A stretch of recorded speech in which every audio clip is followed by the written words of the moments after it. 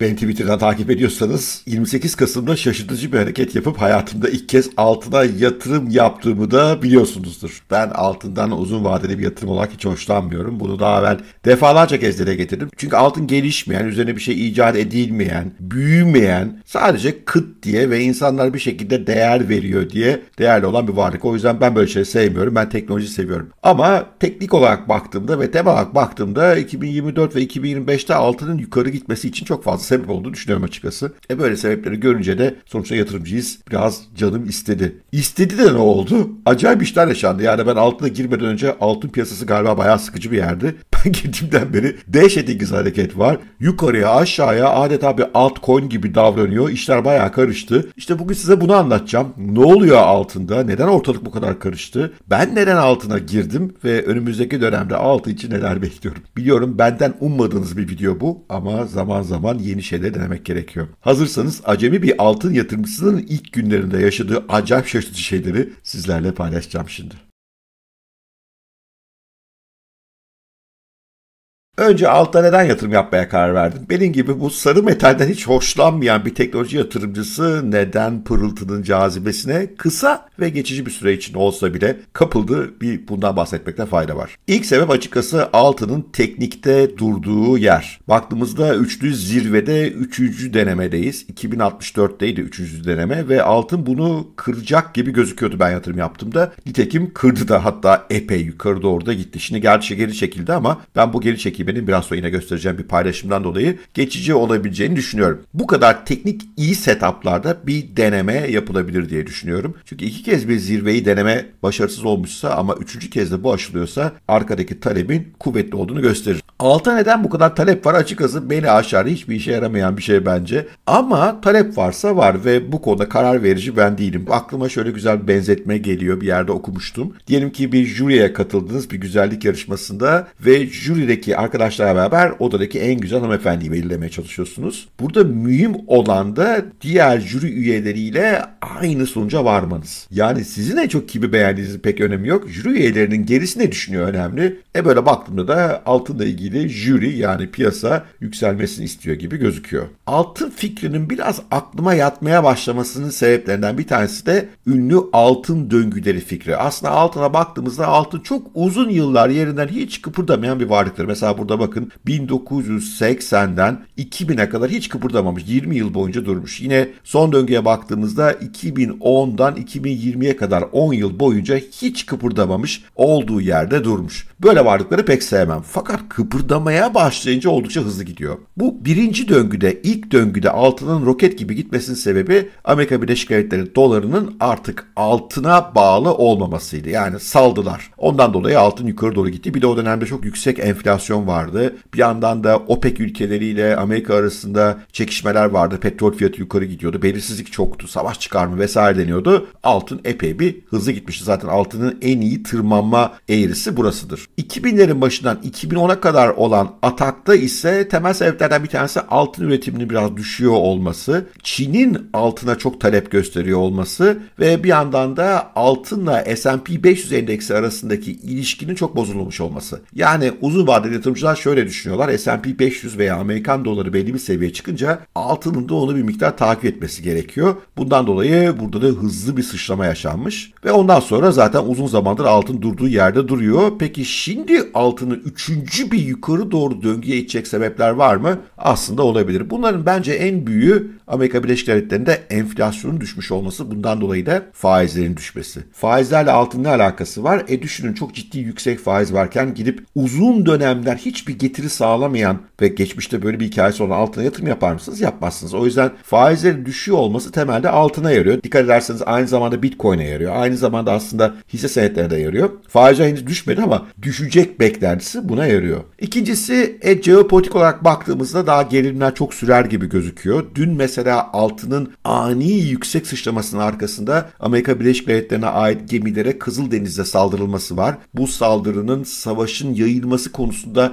etkili olabileceği düşünülüyordu. Altın böyle ortamları sever. Zaten benim öngörülerime uygun olarak 1800 lira kadar inmişti altın ama İsrail-Hamas savaşından sonra tekrar yukarı doğru gelmeye başladı. Böyle jeopolitik gerilimleri altın seviyor. E bir yandan da Amerika Birleşik Devletleri'nin meşhur borç problemi var. Bu borç problemi Amerika'nın idare edebileceğini düşünüyorum ama bu borç probleminden dolayı Amerikan hazine kağıtlarına olan güven azalıyor dünyada. Bundan dolayı işte dünyada merkez bankaları daha fazla altın alıyorlar. E bu durumda bir miktar daha altına yönelim mümkün olacaktır. Çünkü Amerika'nın borcunun pek azalacağı yok gibi hatta önümüzdeki yılın seçim yılı olduğunu bir yandan da Ukrayna Savaşı ve İsrail-Hamas Savaşı gibi iki büyük savaşın finansmanı da Amerika'dan geldiği için Amerika'nın borcunun artması da mümkün. Borç arttıkça Amerikan hazine kağıtlarına biraz daha ilgi azalıyor. Daha yüksek faizler istenebiliyor oradan veyahut da doğrudan doğruya ilgi azalıyor. E bu güvende durmak isteyen para nereye gidecek? Çünkü biliyorsunuz dünyanın en güvenli varlığı olarak Amerika hazine kağıtları görülür ama borç arttıkça bu güven faktörü biraz sarsılıyor. E buradan da bir miktar paranın altına doğru kayması mümkün gibi gözüküyor. Bütün bunları altının teknik olarak durduğu üçlü tepe formatıyla da bir yere getirdiğimizde altının yukarı gitmesi için bence sebep var dedim. Ve 28 Kasım'da ilk kez altın aldım. Hayır ben fiziksel altın almadım. Ben bir ETF satın aldım. İşte burada aldığım ETF'in detayını görüyorsunuz. Şu ana kadar 100 bin dolara yakın altın almış durumdayım. İşlemlerimi Quant Fury'de yapıyorum. Quant Fury'de bu işlemleri ücretsiz olarak yapabiliyorsunuz.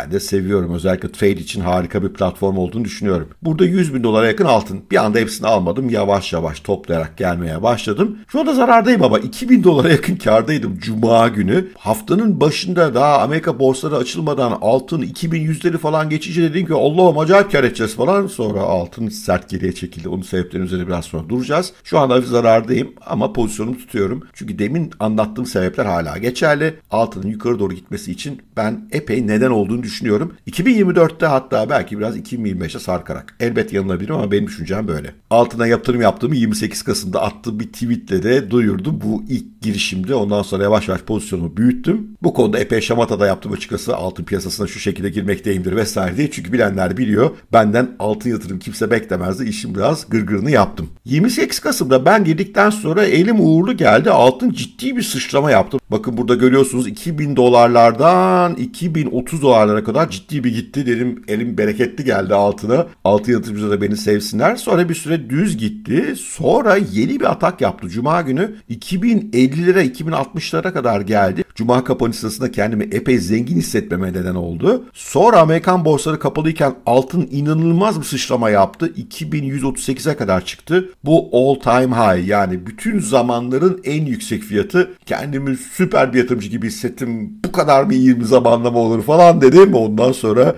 bu mumları görüyor musunuz? Bu mumları çat çat çat çat aşağı doğru geldi. Şu anda 2033'lerde işlem görüyor altın. Peki ne oldu? 28 Kasım yükselişinin sebebi belli. Faizlerin Amerika'da düşeceğine dair beklentiler arttı. Yine aynı şekilde geçen Cuma günü Powell katıldığı bir konuşmada dedi ki biz faizleri yeterince yüksek görüyoruz. Şu anda daha fazla oynamamıza gerek yok. Bu da piyasanın faizlerin düşebileceğini fiyatlamasına neden olmaya başladı. Hatta gelecek yıl Mart'a çekildi ve %50 ihtimal görülüyor faizlerin düşeceği. Bu da altını şuralara kadar taşıdı. Peki şu ne? Ve neden düştü? Esas önemli olan o galiba. Hafta sonu iki önemli haber piyasaları sarstı. Bunlardan iyi ki biraz önce bahsettiğim Amerikan gemilerine Kızıldeniz'de saldırılmış olması bu savaşın genişleme ihtimalini ortaya çıkarttı. Altın her zaman savaş semen bir yatırım aracıdır. Birinci sebep bu. İkinci sebep ise çok şaşırtıcı ama Peru'da bir altın madenine mafya saldırmış. Valla açıkçası bu haberi okuyana kadar altın madenleri, Peru bütün bunlar hiç bilmediğim konulardı. Fakat okuyunca haberi ve biraz da araştırınca çok ilginç şeyler gördüm. Peru ciddi bir altın madenciliği ülkesi ve bu ülkede bir yasal altın madenleri var. Çok büyük firmalar tarafından işletilen. Bir de yakın zamanda devletin zanaatkarlara verdiği özel izinlerle işletilen küçük altın madenleri var. Bu küçük altın madenleri sahibi olan zanaatkarlar, kuyumcular herhalde bunlar,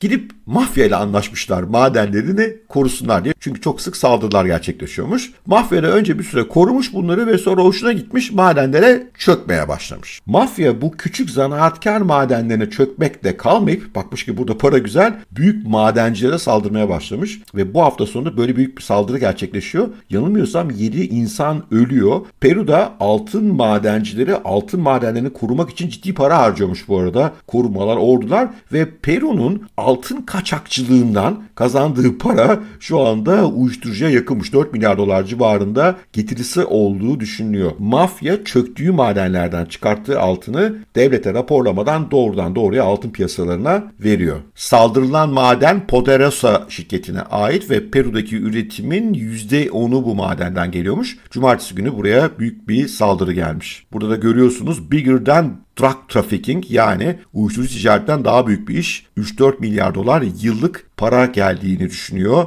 devlet verileri buradan Peru'ya. Neyse altınla ilgili böyle yeni bir şey de öğrenmiş olduk. Bu tabi altının dünyadaki üretimi konusunda sıkıntı mı olur, kısıtlamalar mı olur konusunu devreye aldı. Böylece 3 haber üstüne birleşmiş oldu. Faizler düşüyor, savaş çıkmak üzere Peru'da madene saldırı var. Bu altın kıtlığını getirir. Bir de işlem hacminin düşük olduğu saatlerde bu. Orada ciddi bir saldırı yaptılar.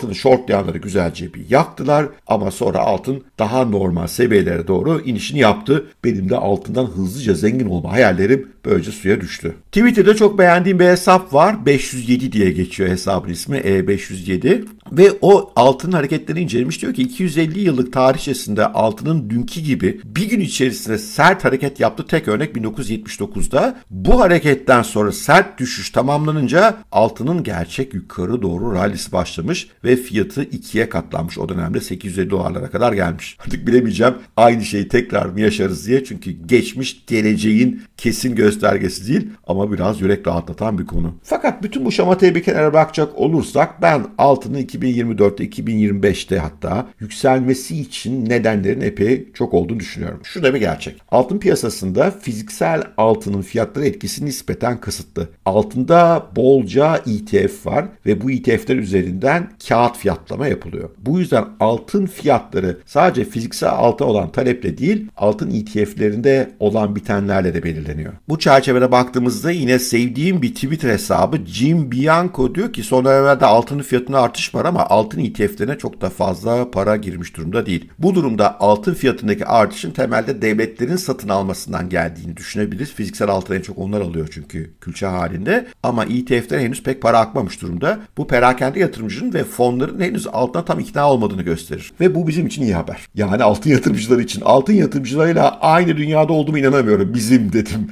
Ama işte hasber kadar biraz altında parası olarak bir insan olarak şuralar altını seviyorum. Ve diyorum ki normalde bu iyi bir şey. Çünkü henüz fonlar altına ikna olmamış. Altın yukarı doğru gitmeye devam ederse fonlar da buna ikna olacaktır. Ve ben 2024 yılında hem faizlerin düşeceğine inanıyorum. Hem jeopolitik sorunların pek bitmeyeceğini düşünüyorum. Hem de bir yandan Amerika'nın bu borç meselesinin daha çok konuşulur hale geleceğine inanıyorum. Bütün bunlar bir yere gelince de altının yukarı gitmesi için hala epey neden var benim gözümde. Peki benim stratejim ne olacak? 2500'lere kadar altını izlemek istiyorum. Ben ayrıca bu yıl Nasdaq'da epey karlı yaşadım biliyorsunuz zaten hep takip ediyorsunuz. Bir kısım parayı biraz daha güvenli bir yere park etmek istiyor canım şu sıralar. Çünkü önümüzdeki dönemi bir yaşamak istiyorum. Hala büyük oranda Nasdaq'tayım zaten. Benim YouTube katıl üyelerim bütün detayları biliyor. Bütün portföyümü onlarla paylaşıyorum. Neyi ne zaman aldım sattım hepsini biliyorlar. Siz de YouTube'a katılmadıysanız mutlaka katılmalısınız.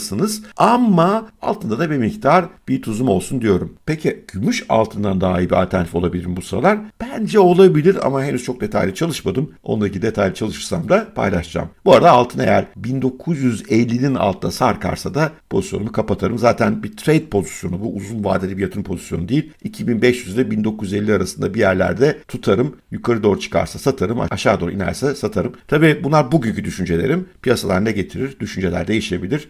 Düşünceler yatırımcılıkta değişmek için varlar. Umarım bu bölüm ilginizi çekmiştir. Altında ilgili şimdiye kadar ki tek olumlu videom. İnşallah son olumlu videom olmaz. Sevgiyle kalın, hoşçakalın. Görüşmek üzere.